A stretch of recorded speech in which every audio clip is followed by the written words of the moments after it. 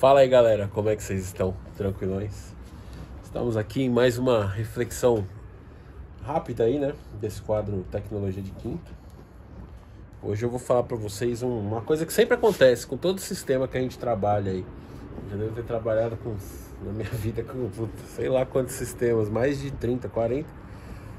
E todos eles, não teve um que não aconteceu uma coisa parecida e que essa solução que eu vou comentar hoje aqui ajuda e muito, né? Ou melhor, ajudaria se ela existisse no sistema, né? Seria muito mais fácil trabalhar. Então vamos lá? Olha a vinheta, deixa seu like, se inscreve aí no canal e vamos ao vídeo.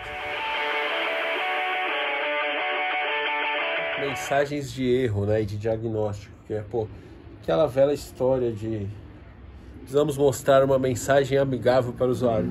Só que isso daí é uma grande armadilha, né? Porque, mano, o que acontece é que o erro se perde ali no meio, você não sabe qual foi a exceção que, que originou aquele erro, né? E não é raro, né? Assim, pô, são 14 para 15 anos aí trabalhando com isso. E sempre, mano, acho que não teve um projeto que não, não tenha tido aquele caso de um erro que você simplesmente não consegue saber o que está acontecendo, você não consegue reproduzir o erro, né? Tem os erros que são mais simples, né? O erro você vai lá na sua máquina, você faz aquilo que o usuário estava fazendo e você tem o erro. Só que às vezes tem tipo, alguns tipos de erro que só vai acontecer em produção, justamente onde a gente às vezes não consegue acessar para testar, né? Depende de realidade de startup, de empresas mais assim, empresas menores, né? A gente até consegue, mas quando você está num banco, num banco, por exemplo, uma grande empresa assim, você não tem acesso em produção para fazer. E aí como é que você resolve esse problema? é bem difícil de resolver nesses casos. E o que, que a gente pode fazer como desenvolvedores, né, principalmente para quem é arquiteto, que está arquitetando o sistema, é, meu amigo, se o erro, de fato aconteceu um erro inesperado, não estou falando aqui de uma exceção esperada, por exemplo, é, ah, já existe usuário no banco, aí eu vou avisar que já existe esse cara cadastrado lá, por exemplo ou sei lá, alguma coisa desse tipo que é prevista, né? Estou falando aqui de erros imprevisíveis. Se o erro é imprevisível, então você não tem como. Como é que você vai dar uma mensagem para um erro imprevisível? Você vai colocar lá aquele famigerado erro desconhecido, né? Não faça isso, que isso aí vai dificultar a sua própria vida no futuro quando esse, esse tipo de erro acontecer e você tiver que depurar. Só que é claro que algumas pessoas são puristas, né? elas não querem colocar o stack trace na tela, né? Porque pensa, quando a gente está desenvolvendo, dá um erro, a gente não olha o stack trace para resolver. Então imagine se a gente tivesse como ter esse stack trace na mensagem de erro para o nosso usuário já nos mostrar ali, né? É claro que você não vai, se você for um cara que quer deixar o negócio mais bonitinho e tal, você não vai mostrar aquele stack trace na tela, mas você pode retornar ele para sua tela e deixar um botãozinho. A Microsoft fazia isso, né? Um aprendizado que a gente tem com a Microsoft. Lembra do relatório de erro que você clicava, ele abria ali um stack trace para você, né? Ele fala, ó, correu um erro desconhecido. Aí você aperta um botão de detalhes e mostra o erro. Por quê?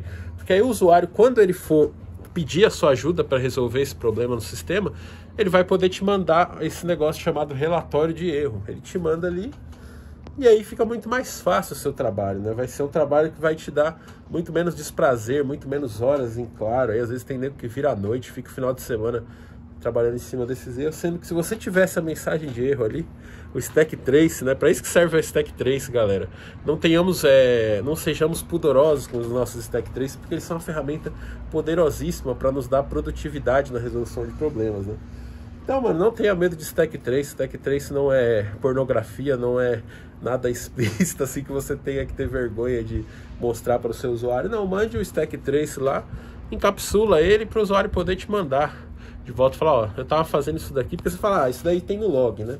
Tudo bem, mas vai pegar um log de produção aí de um sistema com milhares de usuários, meu, você vai ficar perdendo horas só para você achar o stack trace daquele erro. E se se você achar, porque às vezes nem no log a galera coloca o stack trace, né? Eu fico puto com isso quando a gente pega esses sistemas por aí que não tem log, o log só coloca lá erro e dois pontos o nome da exceção bote o stack trace, velho. Facilite a sua vida amanhã, no futuro, né? E a minha também, é de todo mundo, todos nós programadores aí, para que se a gente puder ter o stack trace na nossa cara, vai ficar muito mais fácil de resolver, tá certo? É claro que você pode ter umas estruturas mais avançadas, né? Por exemplo, onde você salve ali o que foi o input do usuário, né? Somente para sistema REST, né, com JSON, às vezes a gente costuma ver esse tipo de log. É um log que deu erro, ele fala, ó, o JSON de entrada foi esse, e o erro foi esse aqui e o stack trace. Mano, com isso aí é perfeito, você consegue reproduzir o erro na sua máquina para conseguir resolvê-lo, tá certo? Então, fica essa reflexão, né? É claro que a gente quer que os sistemas sejam usáveis, a gente não quer que o sistema dê erro, a gente quer mensagens amigáveis para os nossos usuários, mas quando o bicho pega, e o bicho vai pegar, porque ele sempre pega e sempre dá erro, o bom é que a gente consiga resolvê-lo da melhor forma possível. É claro que tem aquela história né, de alguns riscos de segurança, né? tem casos em que é, o cara mal intencionado ele vai descobrir, né, o hacker, vamos dizer assim, o cracker, ele vai ver a estrutura do seu sistema através do stack trace. É por isso que a galera tem esse pudor de ocultar, né? Mas aí você tem que pensar e pesar muito bem. Né? A gente já tem tantos mecanismos de segurança nos sistemas que normalmente quem vai acessar o sistema é a pessoa que está dentro da própria empresa pela intranet, então já está seguro, né? Talvez o que a gente fica gastando de horas de programação aí também porque o nosso tempo né, é dinheiro, né, galera? Cada hora que a gente está trabalhando, a gente está gerando um custo. Imagina se você for o dono da empresa e tiver que ficar pagando esses custos, né? Pô, é muito melhor se você tiver um problema que seja resolvido rápido, vai aumentar a satisfação do cliente, né, a produtividade. Porque pensa, mano, nossos sistemas eles não são um fim em si mesmos, eles são apenas uma forma de se chegar a alguma informação, alguma coisa do outro lado. Então, é, quanto mais o nosso sistema puder ser consertado rapidamente para ele voltar a funcionar, para voltar a produzir, melhor para a empresa, melhor para o cliente, né? Você não, ter não é tão chato quando a gente vai a algum lugar. Por exemplo, minha mãe vira e mexe, ela vai na lotérica lá fazer alguma coisa, pagar uma conta, e ela fala, ah, volta porque o sistema estava fora do ar, entendeu? Então, isso é ruim, né? Isso gera prejuízo, são vendas que a gente deixa de fazer, enfim, deixa de produzir. Então, é uma coisa importante para a gente pensar com carinho, especialmente se você é um arquiteto de sistemas aí que está desenvolvendo essa arquitetura, né? Pense bem com carinho e jamais deixemos ali uma exceção sem colocar o stack trace no logs. É o mínimo. O ideal seria passar ele lá para cima, para as camadas de cima, até chegar lá para o usuário poder, quando ele nos reportar naquele e-mail, ele mandar o stack trace, tá certo?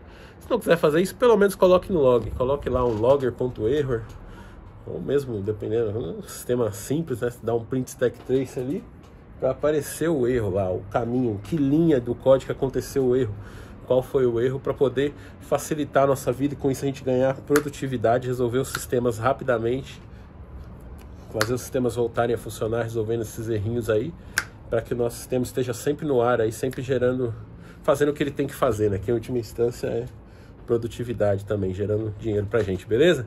Então deixe seu like, se inscreva aqui no canal.